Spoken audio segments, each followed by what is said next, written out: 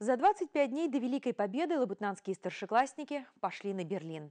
Так называется Всероссийский исторический квест, который накануне прошел в Центре детского творчества. Ребятам предстояло доказать, что никто не забыт и ничто не забыто.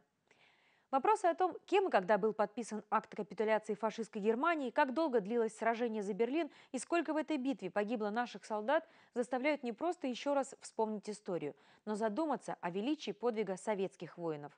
Максим Швец продолжит.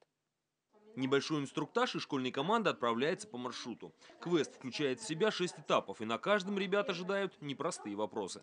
Людские потери СССР во Второй мировой войне составили 20, 40, 17 или 27 миллионов человек? 27. 27. Основные вопросы все же касаются сражения за Берлин, ведь 16 апреля 1945 года началась Берлинская наступательная операция. В связи с этим во всех городах страны проходят исторические квесты.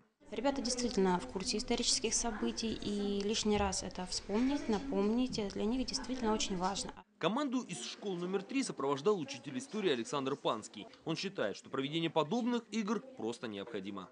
Конечно, это очень интересное такое мероприятие, полезное мероприятие, потому что школьная программа, ну, конечно, включает такие темы, которые касаются Великой Отечественной войны. Ну, мы не всегда имеем возможность их изучить подробно.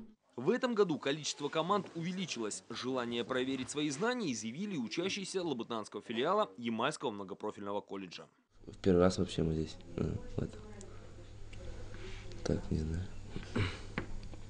Ну, интересно? Да.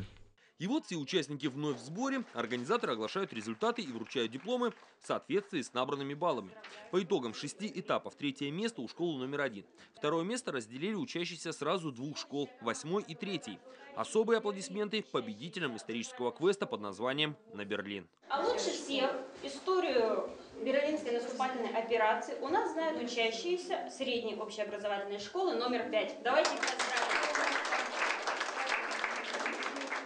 Максим Швец, Максим Мячин. Программа «Время местное».